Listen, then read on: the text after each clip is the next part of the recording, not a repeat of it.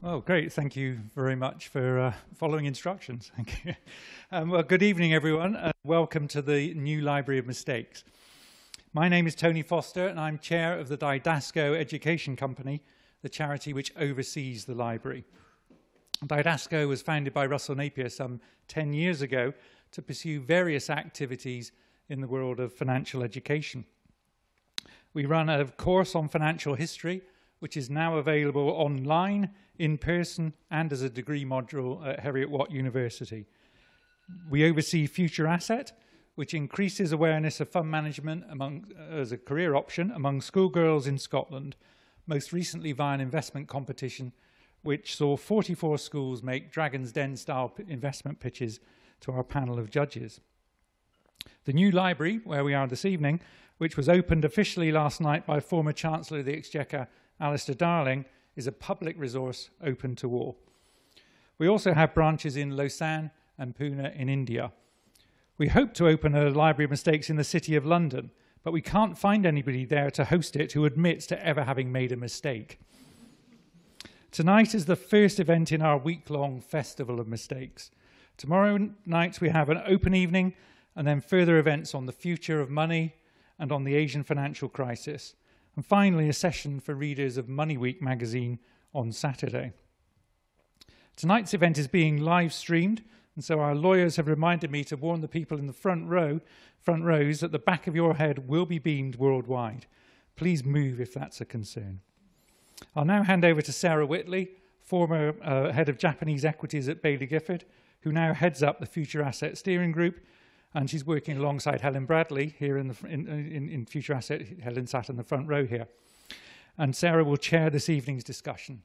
So welcome everyone, and Sarah, over to you. Thank you very much, Tony.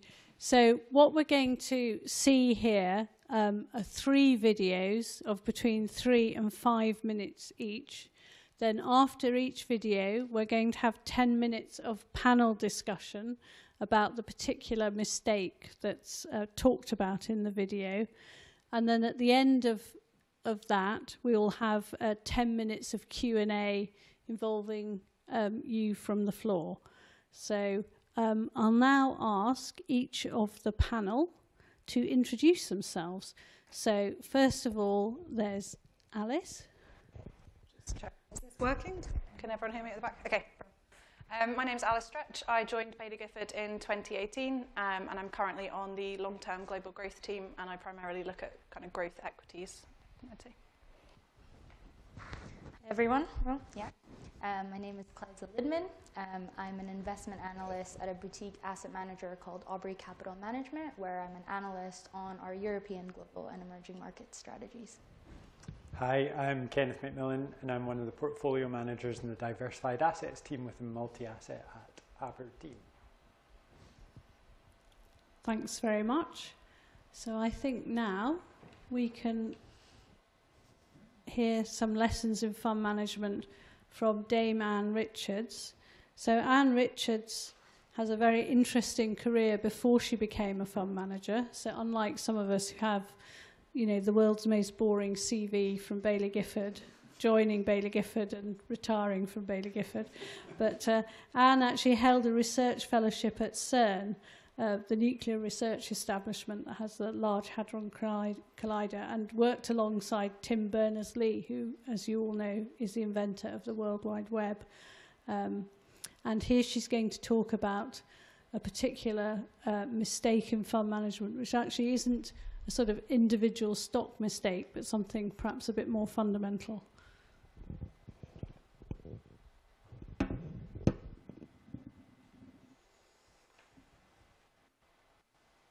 In 2002, just as the dot-com boom was coming to an end, I was approached to leave the large blue chip fund management firm where I ran a highly successful team to go to a much smaller, struggling boutique called Edinburgh Fund Managers. And the job was to be their chief investment officer with a mandate from the board to turn the company around. Now it was a listed company, a public company, and I'd get a board seat, which was an attraction for me. But in many respects it was a strange time to make such a big decision. But I felt I was ready for the challenge and I wanted to work somewhere where I had more control and more influence than you can ever really get in a large company. Now, the first thing that happened that was odd was that after my appointment was announced, the biggest shareholder, who owned almost 30% of the firm, phoned me up to try to persuade me not to join. Now, that's not something that normally happens. But I was committed, and so I carried on. I joined Edinburgh Fund Managers in early September, and some six weeks later, went out on a regular visit to our shareholders with my chairman. Now, to my surprise, in the very first meeting, the fund manager we were seeing leaned across the desk and handed the chairman and me a letter.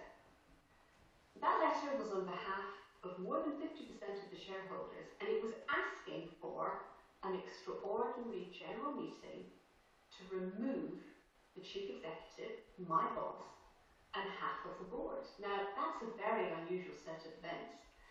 Roll forward, within a week, all of the non-executive directors had resigned, and the chief operating officer, Rod McRae, and myself had to ask our CEO to resign, our boss, remember, because we knew that the results of the EGM the shareholders had asked for would be a foregone conclusion. So when I phoned the largest shareholder, the one who tried to persuade me not to join in the first place, to tell him what had happened, he was taken aback and he said, Oh, I wasn't expecting that. Now, we were in the midst of a horrendous bear market in equities. And Rod and I had responsibility for some 250 people, and yet we didn't really have experience of leading a company, much less a listed one. But we soldiered on, we found ourselves a new chairman, and we eventually sold the business to Aberdeen Asset Management. Many of the clients of EFM are still clients of Aberdeen today, which is testament to the fact that if your clients trust you and you do a good job, they will stick with you. I stayed on as CIO at Aberdeen until 2016 when I left first to become Chief Executive of M&G and then in 2018 to do the same role at Fidelity International, which is the one I'm doing today.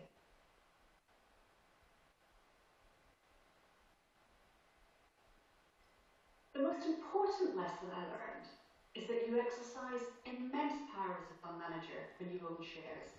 And you have to exercise that power with great wisdom. Many fund managers have never managed a team, never mind a business, and yet their actions have a meaningful effect on the jobs and lives of thousands of others. So for this reason, because on this occasion I was on the receiving end of the actions of other fund managers, I've always tried to be really thoughtful and exercising our own stewardship responsibilities. Stewardship is immensely important and it comes with great responsibility. We're also entrusted by the people whose money we look after to invest it with the greatest possible care. Because ultimately, we exercise our stewardship on their behalf.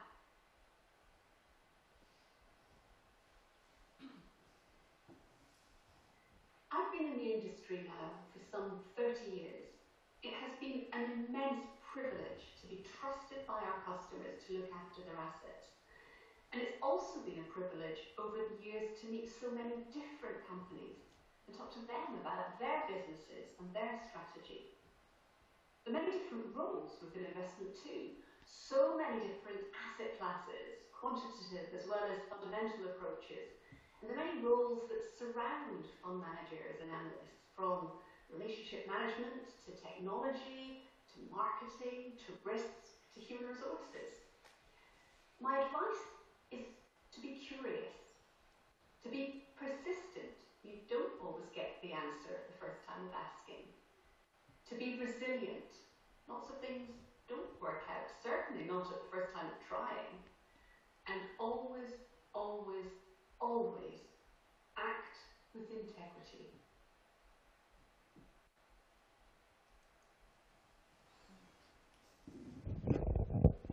Right, so with those words from what was obviously a fairly traumatic experience, perhaps the panel, perhaps Ken, you've perhaps spoken to some of your colleagues who came from EFM about some of those difficult times. Yeah, the first thing, 22 years later, it's remarkably hard to find anyone that still works for the same company.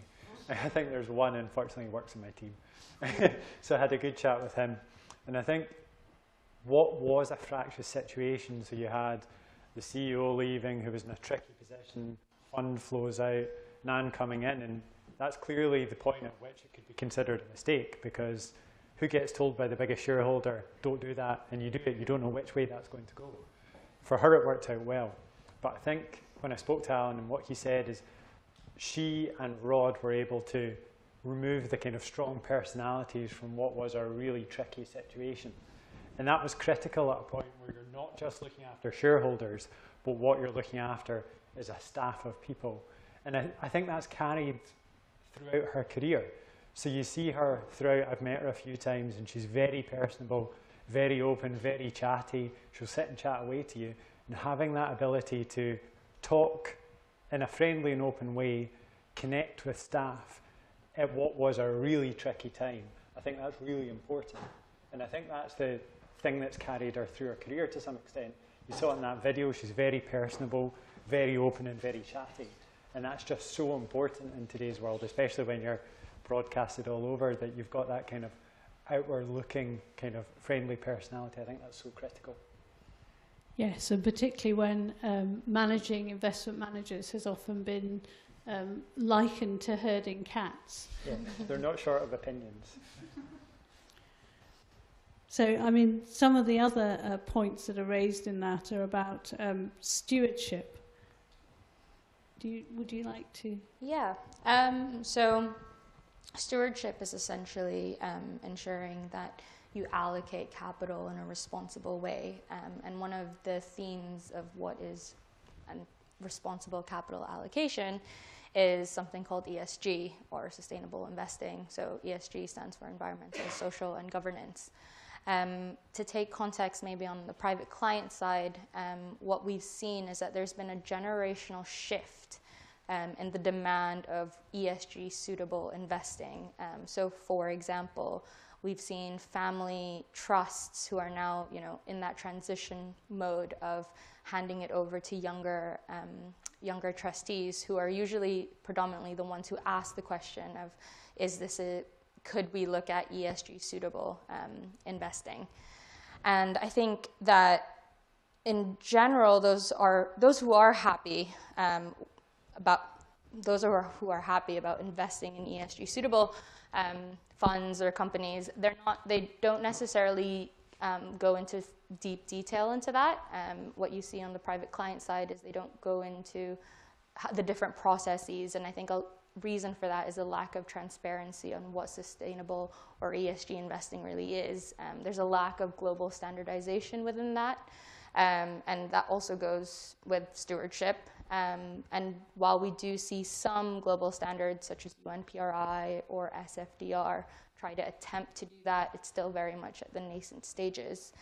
Um, I think just in general, um, you know, clients there are different, there's a variety of what is called ESG investing. I think it's very much still a learning, um, like everybody in this industry is still learning about what it really means to be a sustainable investor, if that's kind of the route you choose to go into. Um, so um, I think it's just a work in progress. Um, and anyone who says otherwise, I'd love to have a discussion on that with them, who seems who who they know everything about it. and do you have anything to say to the point about that stewardship and the power point? That fund managers wield a lot of power, and you know Anne found herself on the wrong side of that power being wielded by fund managers, and that she'd always taken that very seriously after that experience.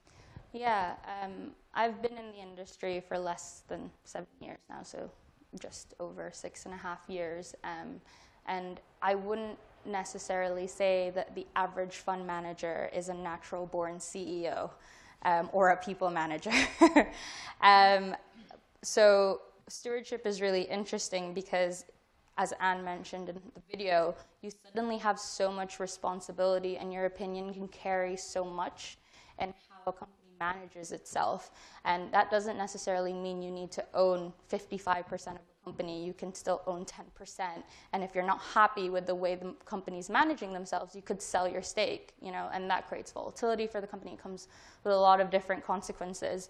Um, I mean, to give context to Aubrey and how we look at that, um, we really focus on the engagement side of things. We try to give context on how we invest with ESG in mind. So we have a questionnaire, yes, and it looks at some disclosures, but um, engaging with the companies really gives us deeper insight to the company's operations um, and also kind of the overall general concerns that stakeholders, not just as shareholders, but the employees um, and the customers as well, um, and puts that into context. So I think one of the big things, and I will kind of touch back on the fact that it's ESG or sustainable investing is still at its nascent stage, is that there shouldn't we don't apply a uniform um, kind of process into the companies we look at. We won't expect a smaller company to have the same level of disclosure or the same number of initiatives as a much larger company, for example. Um, and I think that's and then kind of active investment, which is where kind of managers and analysts do the research themselves, um, I think this is where we can really differentiate versus maybe passive investing um, or ETFs, where you won't really have that level of insight or engagement with the companies. Right, thanks very much. And I wonder, obviously, the shareholders who Anne was visiting, you know, one of them owned 30% of EFM. So that's obviously, when you go along, you speak to somebody like that, that's a very important meeting. And, you know, the issue of privileged access. Um, Alice, you're in the Bailey Gifford LTGG team and you have a lot of privileged access, some of it as a private investor. Um, do you want to talk a bit about that? Yeah, absolutely. So I think Anne really touched on the point there the privilege we have as investors to understand companies and to get to know them and what being a shareholder can really mean and the impact that you can have. Um, and I'd say my role and within Bailey Gifford, our privileged access kind of forms three parts, and that would be access to management, access to private companies, and also access to academics and um, other external insights. Um, so just firstly, access to management. I think as we're long-term investors, we can often have a relationship with a company management team that can last for years or decades. Actually taking their time and trying to understand their business and spending time with them whilst you know they could be under pressure from shareholders from customers from operations everything else all of that pressure. And then as shareholders we're turning up saying hey can you explain this to me? Or can you spend some time um, telling me how you run your business? I think that's a real privilege to have um, you know relationships with some of the you know leading ceos in the world and also um, yeah having that responsibility for clients. Sorry i don't know if um, and having responsibility for clients as well. Um, to basically ask them about, um, you know, making sure we're doing with their money what they'd like and making sure we're getting the information that we need. Um, I think for managers, particularly um, company CEOs and things as well, uh, they've got a lot of short-term news flow around them, and we've got to be those kind of responsible long-term investors that help them with their decision making. And for me, that basically means, as I'm saying, taking that responsibility and acting with integrity and trying to be as thoughtful as possible with our questions um, to try and understand companies better. Yeah, go to that. Um, yeah, and then just in terms of private companies, so over the last few decades, we've basically seen um, real-time information, lots of people having more access to freely available information, and at the same time, companies are becoming public later. And these two factors together, for me, really show how developing relationships with private companies and with academics helps us have differentiated insights, which is ultimately what we've got to do to improve client returns. So um, in terms of privileged access, uh, I've worked on LTGG, my current team, and also on our emerging markets team, and both of them have private company kind of strategies. And um, where it's not commercially sensitive, it's actually really good to learn from these private companies about what's happening in the market because what we're ultimately trying to do is understand how business models are changing. And with big incumbents, that can take a long time to innovate, whereas with private companies, that's what they're trying to do all the time. Um, so yeah, you've got to be sort of trusted by private company management, and you've also got to try to understand what they're giving you in terms of information. And um, yeah, so that's been like a really big learning for me, particularly over the last year. And then finally, just um, I think we mentioned um, Tim Berners-Lee there. Like in our academic side of things, we have got to know Mike Berners-Lee, Tim's brother, who's a decarbonisation um, researcher, and so he's written reports for us. We've also, you know, sponsored um, academic relationships at different institutes across the world, and academics are giving us their time. Um, and that's also some privileged access there about being able to um, get to know companies and understand what's happening in the world by people who are experts in their field. And I think that comes back to what you are as an investor, which is trying to learn from other people and respecting their time um, whilst you have the responsibility of managing clients' money at the same time. Right. Thanks very much. And I've just remembered another story about EFM, going back, delving back even further in the past than Anne's story, which is going to a lunch in the early months of 1988. And this was when I was managing Japanese investment trusts, and EFM had two Japanese investment trusts. And speaking to the manager, and they said, so the background of this is markets fell very sharply um, particularly in Japan at the end of um, the October of 1987. And uh, anyway, this manager said, "Oh yes, we're 30% in cash." And I thought, "Oh, supposing he's right, and you know, markets again." I thought 30% in cash is very aggressive. We've got about 10% in cash. And I thought, well, somebody's right. And I came back thinking, somebody's right and somebody's wrong. And this is career defining moment. anyway, six months later, EFM had no Japanese investment trusts. they apparently had been bullied into it by the board. but I mean, sorry, that that just popped into my mind. Right, okay. Moving on, we're now going to hear from Angus Tulloch. Uh, and this is um, a stock example, and well done, Angus, for fessing up to this one.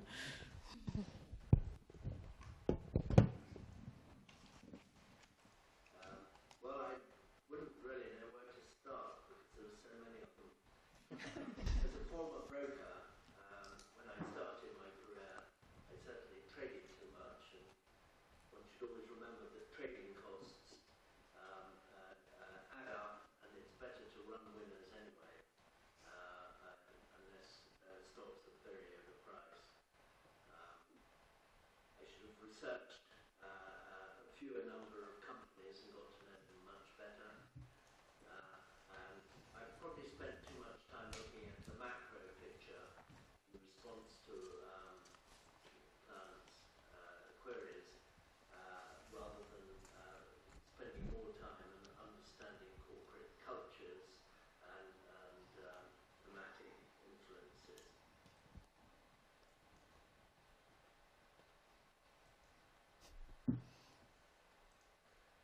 problema.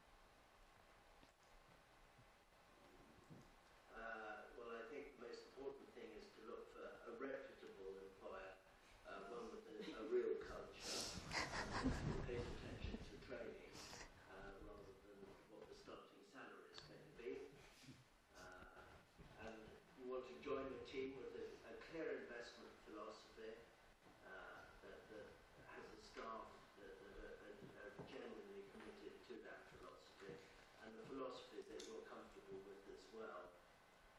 I'd also be very tempted with the benefit of hindsight if I spent 15 minutes every day uh, just writing down what I'd learned or, or specific observations because I think it would be very, very helpful as I develop my career to look back um, uh, what I've learned three, five, seven years back. Uh, very interesting too. Um, and the final point is just never stop learning.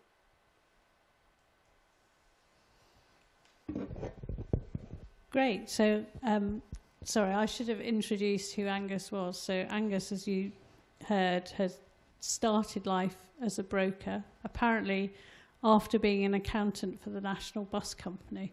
But when I first met him, he was a broker at Cazenove. Then he became a fund manager sort of later on in life um, and had to switch from the sort of broker mindset to the longer term fund manager mindset, which, as he mentioned in that, took him a while to, to adjust to.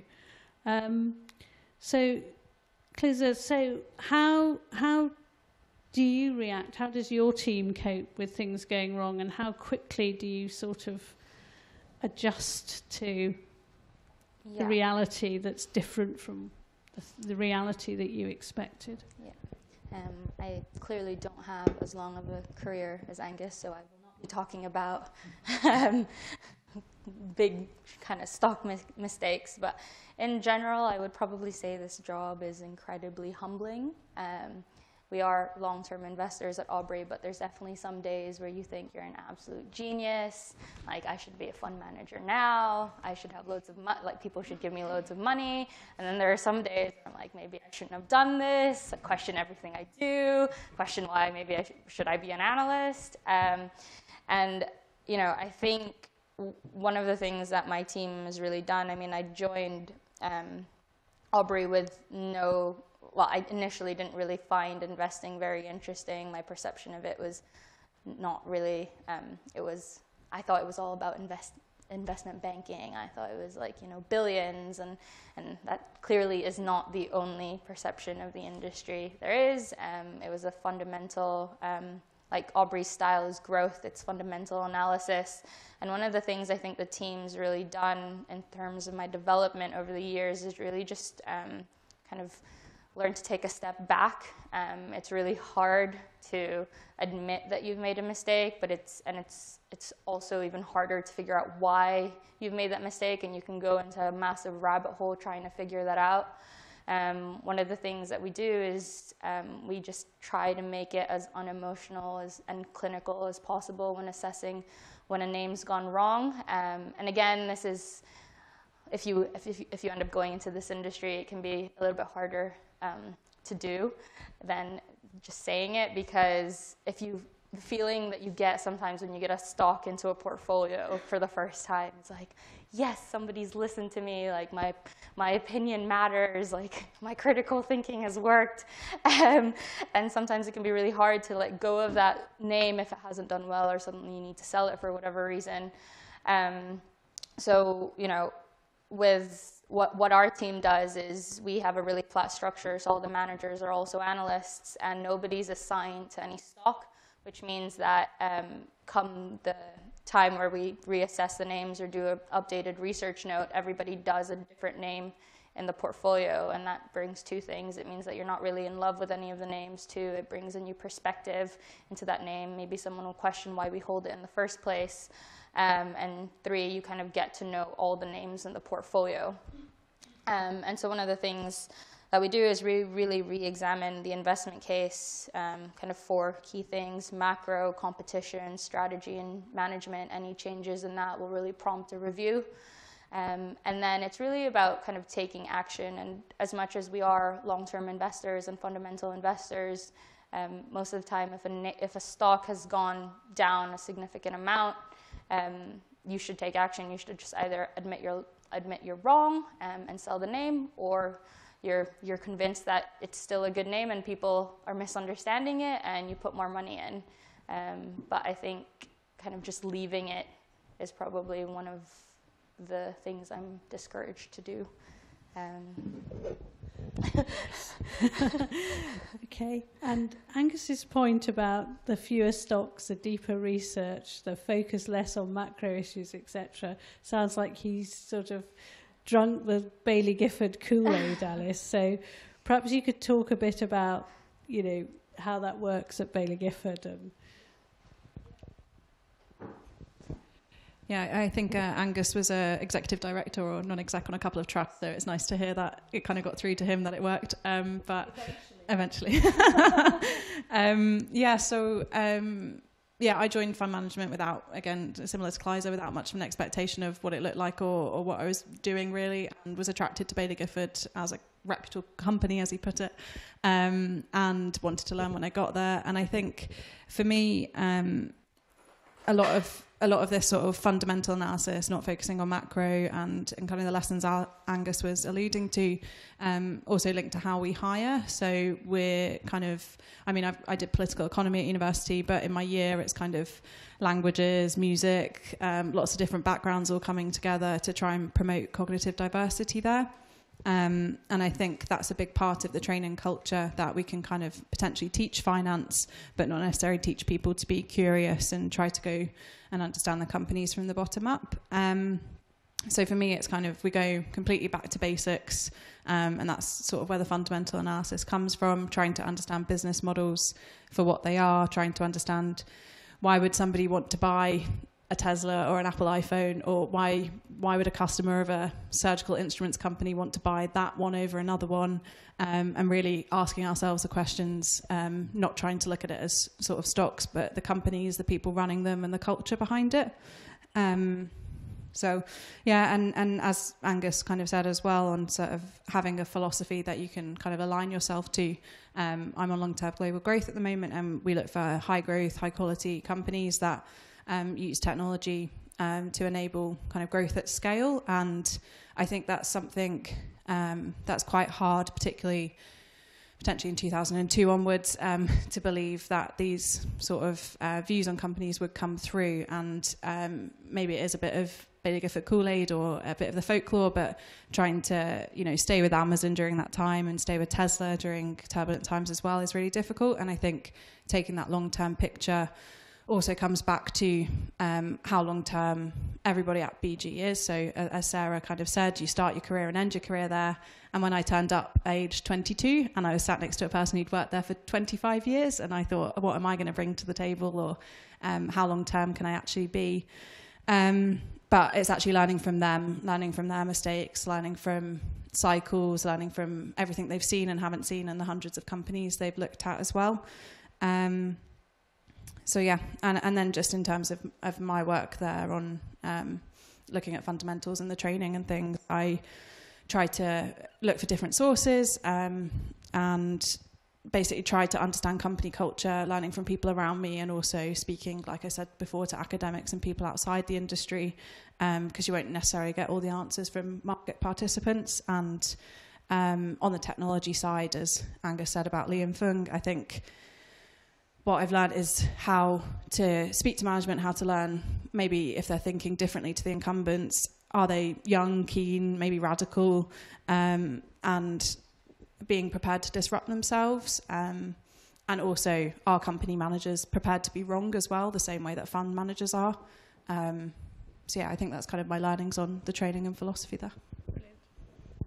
Brilliant. Thanks very much. And Ken, could you talk a bit about learning the CFA exam? How is that as a learning experience and just quite how hard is it?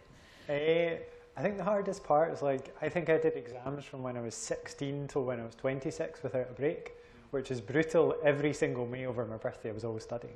That's the way life goes.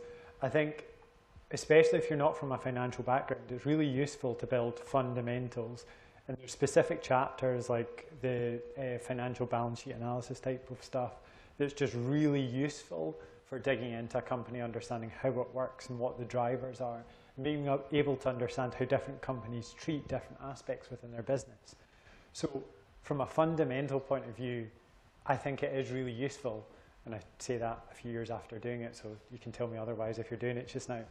Um, so, I think that is genuinely something that's worth doing from how hard is it?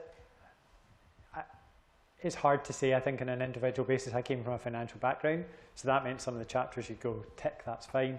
There are parts that are just a bit soul destroying, is the easiest way to describe it, where you've just got to plod your way through it.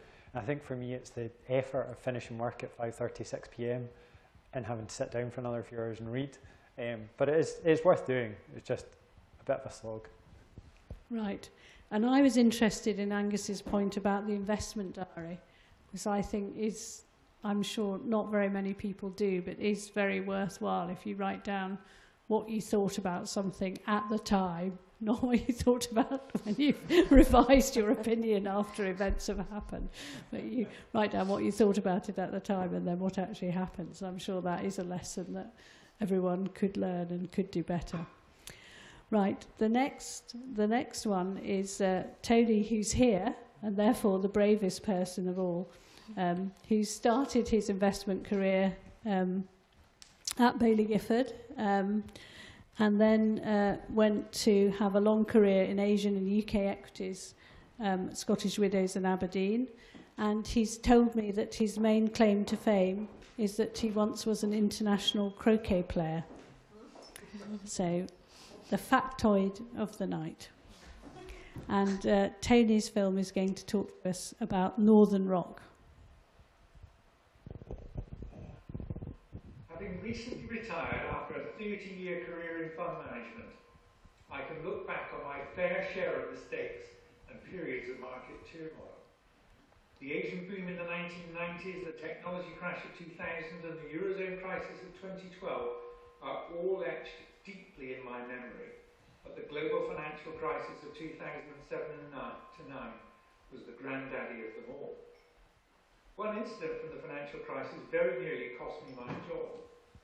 Northern Rock, a fast-growing bank which lent some borrowers up to 125% of the value of their intended home purchase, needed support from the Bank of England in the summer of 2007 when short-term money markets seized up at the start of the financial crisis. When this news leaked out, the next day saw Britain's first bank run in 150 years as Northern Rock customers rushed to take out their savings. The ensuing collapse of the Northern Rock share price was a big problem for me and my colleagues as our funds owned nearly 5% of this FTSE 100 index constituent. Initially, we hoped that HSBC might try to acquire Northern Rock to grow their UK market share. When it became clear that this wasn't going to happen, we decided we had to sell in the market. As a team, we didn't want to panic and thought that 290p was a fair price to sell, 15p below the market price at the time, although it was 75% down on its high of over £12 reached six months earlier. That morning we managed to sell half our stake at the 290p price limit, but then had to stand back and watch as the share price collapsed further. I wanted to contact the head of the team, Dave, to discuss changing the price limit, but he was unavailable in London. As the market closed, a broker bid for the remainder of our stake, which was 2.5% of the company, remember, on behalf of the hedge fund at 245p, 15% below the price limit. What would you do? Take the bid of 245p or stick to our agreed policy not to sell below 290p? After discussing the potential trade with our head of dealing, I felt we simply had to take this opportunity to sell it. We might not get another chance. That night, Dave called me at home, very angry. You panicked and cost us performance, he said. The next morning, I was at my desk by 7 a.m., fully aware that if the share price banks above 290p or even 245p, Dave would almost certainly fire me. At 8 a.m., the Northern Rock opened at 210p and went down from there. By mid-afternoon, with the share price in the 160s, Dave called me up to apologise and congratulate me on taking this tough decision to sell. My job was safe for another day.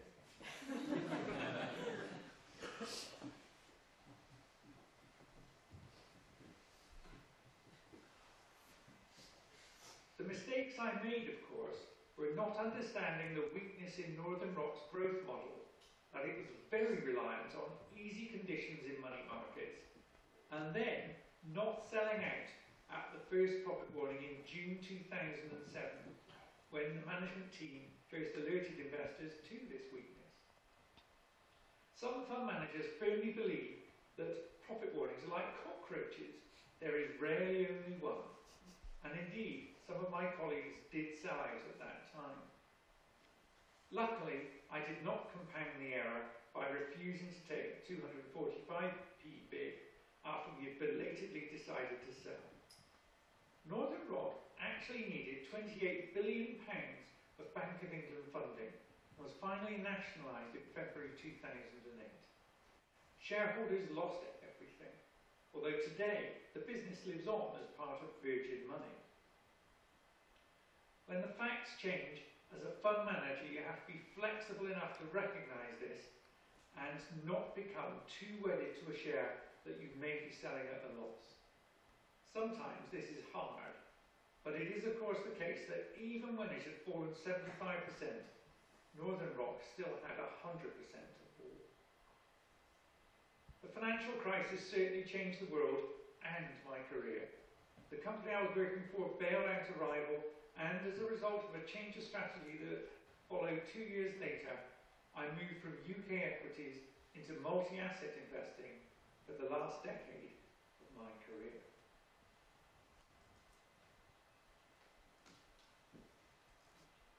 Unlike in many other professions, fund managers make mistakes.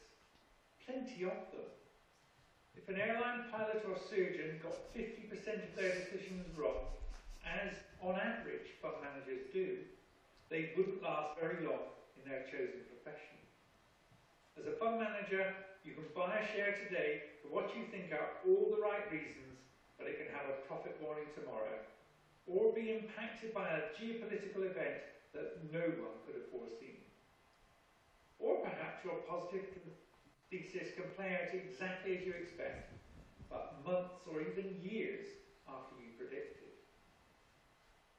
You have to be resilient and adaptable and be prepared to be wrong. That is not to everyone's liking, but if it suits you, fund management can be a rewarding and endlessly fascinating career.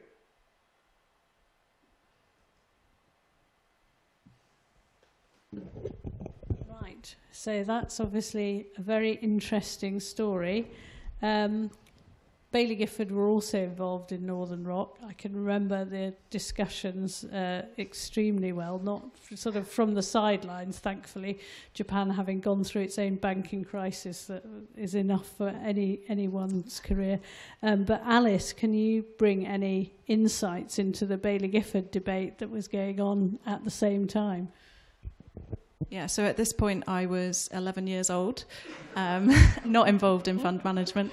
But um, I actually spoke to Gerard, who is retiring this year, um, on our UK equities desk. And uh, Tony, who worked with Gerard back in the day, said, uh, Can you go and talk to Gerard about this? Um, a week before his retirement, and having never really spoken to him much before, I sat him down and asked him, Can you tell me the story, please? Um, but yes, so at Baillie Gifford, we sold out a day before Tony did, which apparently, um, you know, a couple of uh, maybe 20p in it or something, more than that a pound at least. Um, Jared basically said on the Friday, um, Robert Peston had been on the news and had basically caused a bank run. Um, and on the Friday morning, they sent out people to go look at the queues on uh, Princes Street to see how big the queues were getting and whether this bank run was actually significant or not. Um, and then there was an emergency meeting called, and Jared actually said this was the best mistake of his career because it was the canary in the coal mine for the rest of the banking crisis. So it made them look at companies differently and balance sheets differently. And despite the fact it wasn't the quality of the loan book or necessarily the gearing ratios, instead, it was not having a scenario of what if the funding all just stops. And he said that was because they weren't looking broad enough at what could happen and potentially got too close to management. So when these profit warnings came out, in the year leading to it, they had six or seven meetings. Um, him and a few other colleagues constantly going down to Newcastle to ask them to explain their balance sheet, what was happening, and everybody in the market, including Northern Rock Management, thought it was down to some quirks in the wholesale market. Um, that some financing wasn't coming through. Um, HSBC had been involved with a um, a problematic house company in America, and they weren't sure if it would translate over to the UK. Um, but yeah, so so Jared basically said that after this emergency meeting, they all went away for the weekend and agreed on Sunday night they just had to sell um, because they didn't think there'd be shareholder protection in it, and even if there was, it might have to come through in a long time after. Um, and he said he was obviously telling all of this in hindsight, but um, the fact it was unprecedented and the fact the funding and securitization was quite novel as well was uh, difficult aspects of it. Um, so yeah, on the Monday morning they came in, decided to sell, found a broker who wanted to buy it in a block, and left it at that. But um, they realised after there'd been some cultural issues when they'd visited management, the fact that the offices were named after the CEO and the CEO's face was plastered all over the wall um, in sort of 10 foot pictures. Um, so yeah, a lot of Jared's sort of reflections on it were it kind of changed how we run our apparatus as well. So that emergency meeting on the Friday, um, there were over a thousand clients because UK Equities at the time was a big part of the BG business um, who were asking Jared for his opinion and they, all the clients people were in the meeting and all the interested parties across the firm were interested in the meeting. So Jared was sat there having everybody in front of him, and the pressure of that decision making and potentially making a mistake, not making a mistake, or having the time to think was obviously a big deal. So nowadays, we actually have a bit more of a separation between our client side and our investor side, so that we're not in times of stress or in bear markets, we're not constantly um, being pressured into making decisions, and it's more of a long term consideration. And obviously, investors do meet clients, but it's not in the same way of responding to day to day concerns, which can make you either, can be quite an issue for morale. And I also think it's affected how we work as teams. And again, as Kleiser was saying about having stocks assigned to certain people or not. And at the time, it was assigned to one fund manager who all the client side were saying you've got to fire him um, which isn't you know the best conducive environment to make mistakes, which as we know fund managers do and have to in their job. Um, and then the final things he said were just what it made BG do and the UK team do was try to make people not be fearful of mistakes and look for adequate risk. And there's no, there's not a way that you can give clients a greater return unless you do take that risk and you're not going to take that risk if you are fearful. So it's trying to think balance all of those factors. Um, and always accept that there's somebody out there who knows more than you do and to be humble with what information you have and what decisions you make. Thanks very much, and thanks for being brave enough to ask Gerard in his last week at work. Um, so, Ken, um, we heard that some of the issues in Northern Rock were that people really didn't understand the scenarios around the, the short-term funding, which is what sort of blew the business model out of the water. So how, how do fund managers an analyse scenarios and what do you think about anchoring to the to the you know the book value or the something or you know how does that work for you? So, so I guess if we look at scenarios, and there's just so many ways you can do scenario analysis. You can try and pick apart balance sheets and rebuild them up, and look if you get growth of X or Y, what does that do to the profitability of the business model? Or how does the competition landscape change? We as multi-asset investors actually kind of take quite a holistic view. And what we'll sometimes do is we'll do scenario analysis, but very extreme scenarios. So ones that you would say is a 1, 2, 5% um, kind of probability event, but could have very material consequences for financial markets. And actually we had an example when we were doing it pre-COVID, we had a pandemic.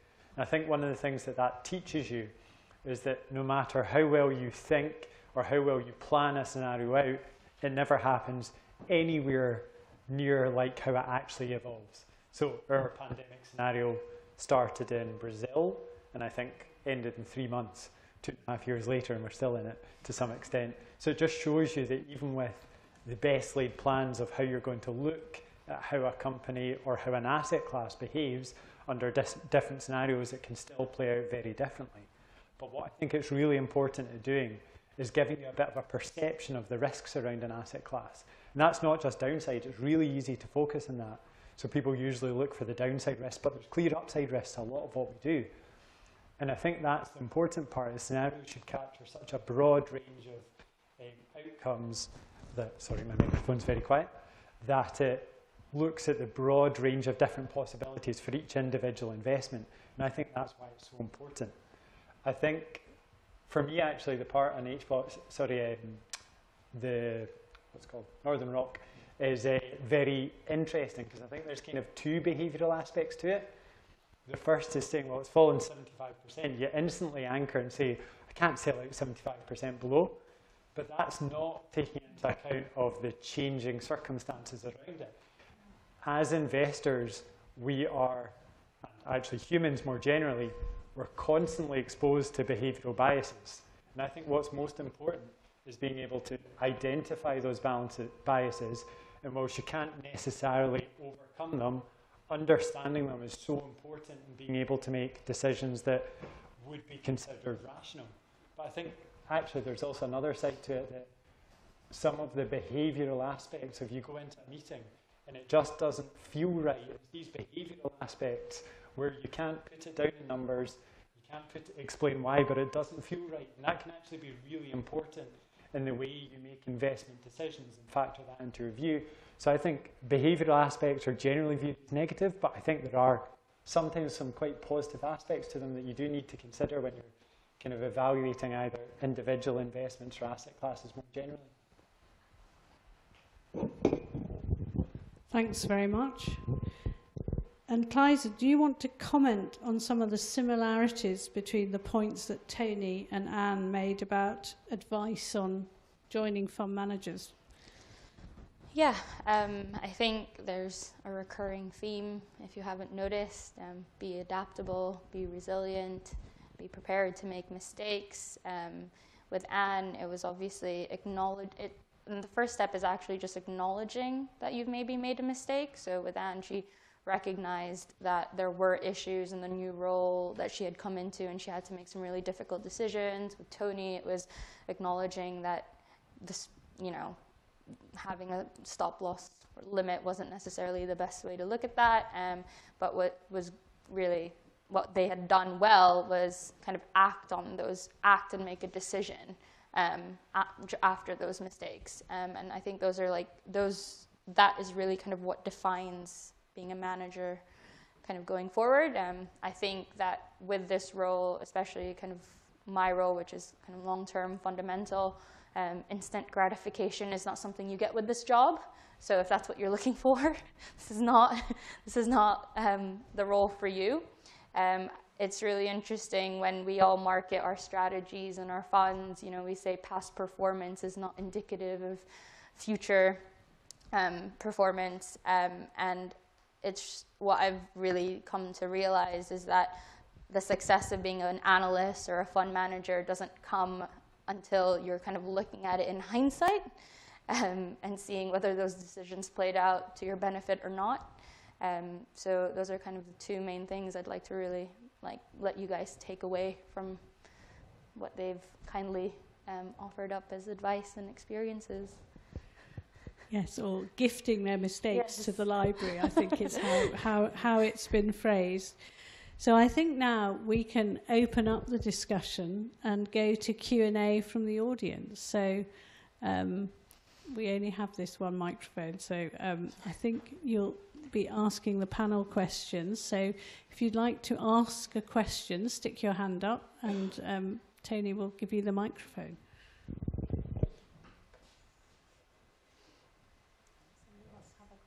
Anybody brave enough to ask a question? good. Good, good. good. Yeah, uh, it's not a, a very original question, uh, but it's for Sarah. Um, what was your biggest mistake, and what did you learn from it? I, I don't know what the biggest mistake was. I think, uh, oh,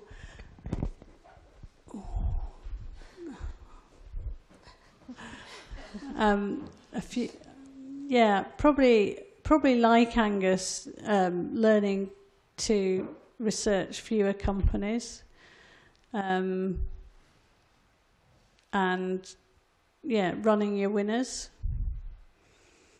and not trying to do too much. And the main thing is I learned is you have to have the mental flexibility to come into the office and believe that you could change your mind on your entire portfolio. Not that you should, but there is the possibility that you could sell any of your stocks, that you mustn't have fallen in love with them, and that you couldn't, you know, believe that you couldn't sell any of them because they're so wonderful. How could I sell this stock? No, you must believe that something could happen, something could change in the world that would make you, you know, sell something even if you believed it was the most fantastic company the day before. So I think it's that keeping that mental flexibility, and you learn that through experience. and, the mar- markets are a hard master. I think that's what the these uh, mistakes that have been gifted to the library shows. You know, you can't, you can't fight reality, um, and people who try and um, you know held out for their extra 10p on Northern Rock or whatever it was, or you know hope that Li & Fung was going to turn around. You know, for years. I mean, Angus didn't say how long he held that, but uh, you know there were a lot of points at which that could have been sold before it got to the bottom. Mind you, Angus retired, I think, before it got to the bottom, which he didn't make. His graph was a bit unfair on himself.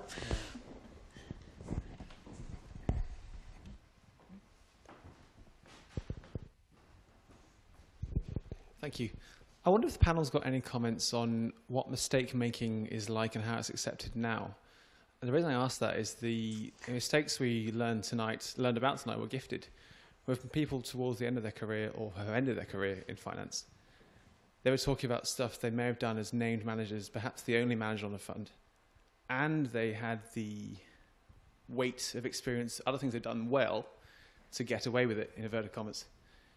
Today, funds are largely run by groups, and also everybody in this room, largely most people in this room are at the beginning of their career. So, how might approach mistakes be approached instead? There's a reason why we haven't gifted our mistakes, you know. we haven't had the long-term career track record to benefit from, but we did so well in X, Y, Z. Um, I think one, I, will just, sorry, I kind of jumped in to answer, but I'll um, kind of say just one thing. I think this is where really culture comes into play, um, kind of, of where you work. Um, for example, there's definitely been times where I've fallen in love with a concept of a, a, like a, a, theme or an industry, and I was so convinced that you know almost you could buy any name in this industry and everything would be fine. And and and there was obviously a time where I was wrong. Um, and there will be times where I'll be wrong in the future. Um, and I think it's really how your managers deal with that. So I know for a fact that if someone were to yell at me, which I mean, maybe in the past there were cultures like that in some offices, I, I would not have taken that well at all. Um, and I probably would have quit the industry. Um, but, you know, having someone kind of sit down and kind of, kind of go through the motions with you and also support you and just the fact, just kind of the idea that yes, we're all human beings, and this career is really, you know, people make mistakes in this career, and that reassurance, and then kind of going back to the process, um, is what really helps me go through um, certain times where I've made a mistake. Um, and I think that's where, again, yeah, culture really comes into play, and who you work with, and you have to make sure that the managers that you work with um, are teaching you in the way that is the most beneficial for you. Um, and granted, I know there are some students here who, and I obviously was a student like many, many years ago, um, and I was like, oh, I'll take any job. like, I'm just, I just really want one. Um, I think, yeah, like culture and making sure that you're in the right firm and making sure that you're with the people that you think can develop you in the best way possible is really, really important. Um, I wouldn't have stayed as long in my firm as I have if I didn't get that kind of support. Um, just because I know that, again, yes, we make loads of mistakes, so you need to make sure that there's a channel there to support you when you do make those mistakes. But. I think I think one thing that's really important. So first, the team aspect that you take risks in our job. That is your job is to take risks to generate return, and from time to time, like mistakes. That that is what happens. You get you wrong, you misunderstand something, but having that team approach without the blame is critical. But I think the other part that's really important is you have clients that understand your philosophy, and I think if things go wrong because you're unlucky. So Tony's example, if Northern Rock was able to access capital, it could have survived. Um, but it had a bank run and it didn't. Now that's luck either way, sometimes that happens. For end clients, having a clear understanding of the philosophy gives you a fair amount of room in terms of errors because as long as you're sticking to that philosophy and kind of doing what you say in the tin, um, provided it's not a mistake a week, um, and you have other things that go in your favour, um, over time, I think people are generally understanding of mistakes and understanding that mistakes are part of normal life, um, especially in what we do. You can't get everything right. If, as long as you get 51% right, you're doing okay. Yeah, and I think for me, um, I'm four years in, and our training program is five years. So we're told to make mistakes as much as possible, not on purpose, for the first five years to kind of get comfortable, I guess, with the idea that you can't be right. And if you're hiring intelligent people from academic backgrounds, that always aiming for firsts, always aiming for achievement. Sometimes that that initial feeling of oh God, my decision cost 1.5 billion pounds or something can be terrifying and you take it on yourself. And that probably, as I've seen it in my firm with more senior people, just the, the bond they have after having gone through these experiences and being able to lean on each other, I think is really important. And I think it's taking yourself out of the equation and trying to understand that it isn't blame, that it isn't a problem, that it's something that's part of the learning process. And I think that's what kind of the entirety of tonight is about as well, that um, we can't get everything right and surrounding yourself with the people that will support you and help you use it as a learning experience is the most important thing to do.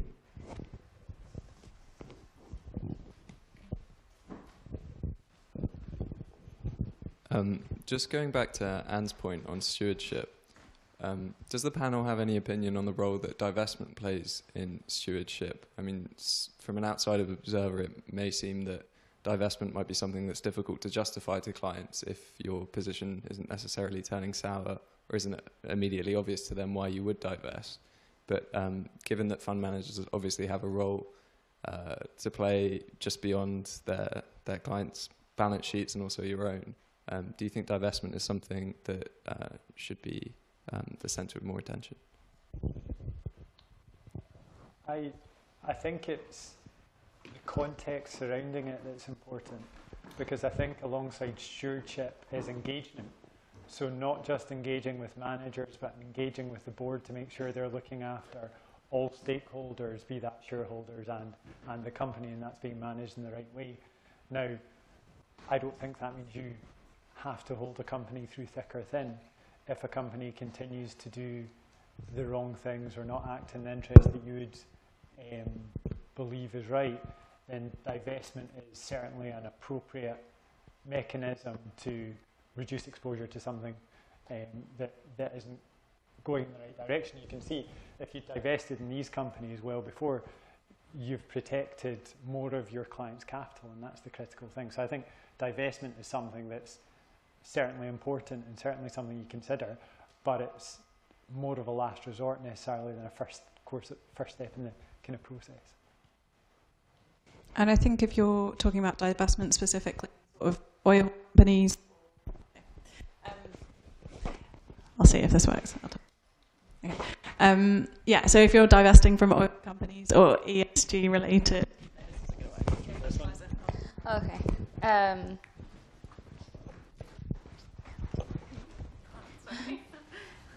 um, yeah, to, I mean, do you want yeah, yeah, carry on. Sorry, yeah, um, yeah. So, um, I think it. Oh, no, is it me? I'll use the roving mic. Okay. Maybe something's magnetic on me or something that I didn't realize. Um, yeah. So, depending what you're divesting from and the reasons for it, I think there's a, a, case to listen to clients and what their opinions are. And I think when you're managing university endowment funds or public pensions and things like that, I think um, the ESG case, particularly for how the world's changing, climate change, everything can re- should really be considered. Um, and this is sort of my personal opinion on debates we've had internally, but um, I, I, guess one of the biggest questions we ask is is it part of the problem or is it part of the solution? And sometimes it can be what you think are the biggest, baddest companies in an industry that can actually fund the change. Um, and I'm not saying that's like I'm, you know, bullish on Shell or something like that, but it is more to say um, taking a considered approach to this stuff, I think leads to the best outcomes. And depending on the strategy and on the client's needs, I think that that also affects it. Um, yeah, uh, I think we've got we're sort of divesting generally um, across sort of our sustainable funds away from certain companies. So I think it's just again understanding how the world's changing and making sure your analysis and your fundamentals line up with what's happening in the world. And I think, um, yeah, so I think it is important to understand what divesting could mean, um, both for strategies and for clients. Right, I think we've probably got time for one last question, if there's one more question.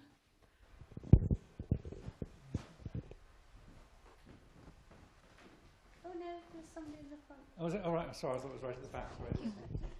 Um, so I'd like to ask, um, what would you say um, is the signal that you kind of developed that a problem is going to happen? So whether it's something you learn at the hard way or it's just something you use in general? I don't think there's a single point that something bad is going to happen. If you look at COVID, you could have point to, pointed to 10, 20, 30, 40 different events. Two weeks before COVID, I was walking around Vienna going, this is great, there's no other tourists. And it's funny how you can ignore information. So I, I think you can only ever identify the point at which you should have made the decision after everything's either gone wrong or well. So I, don't, I think it's really hard to say that's the specific point. Usually it's a combination of multiple different things.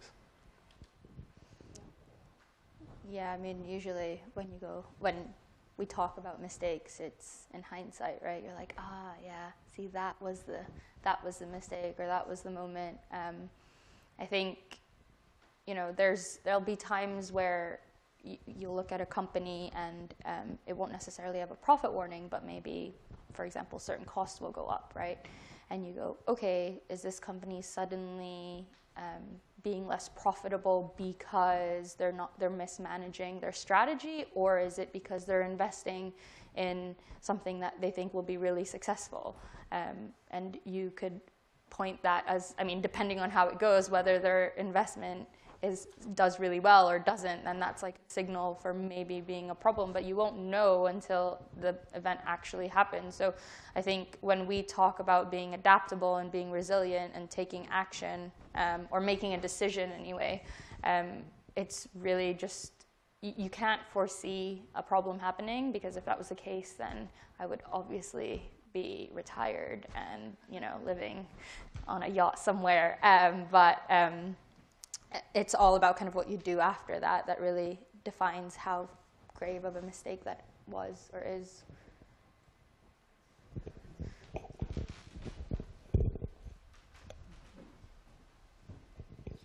I think partially alluded to by Tony and when I spoke to Gerard was the fact that um, it was an unprecedented set of sort of signals that had come together.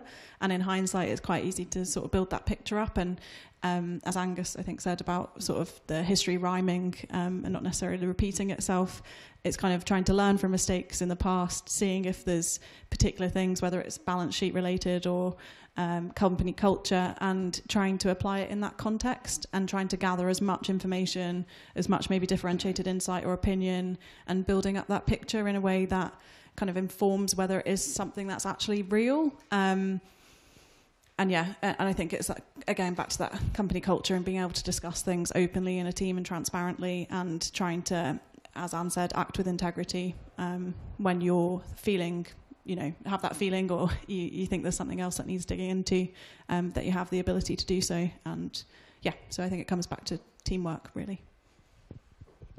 Yeah teamwork's always at the heart of it. So thanks very much for attending. I hope we've managed to give you some insights into mistakes, how to cope with them, if not avoid them, because they're probably unavoidable in an investment career.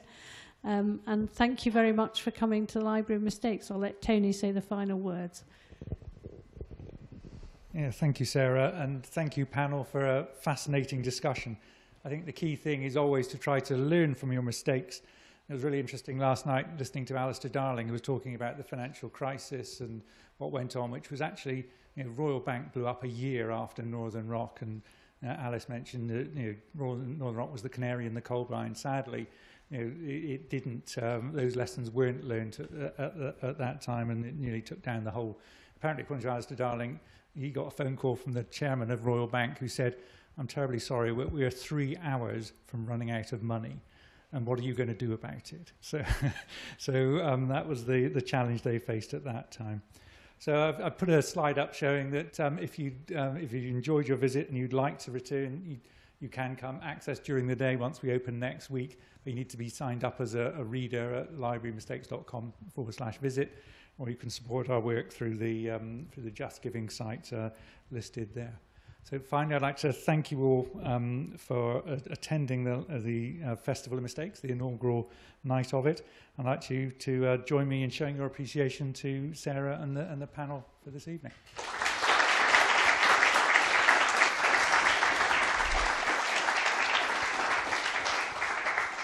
And the very final thing is, if you'd like to you know, carry on the conversation, there's still plenty of drink at the, uh, at, the back of the room. Thank you very much.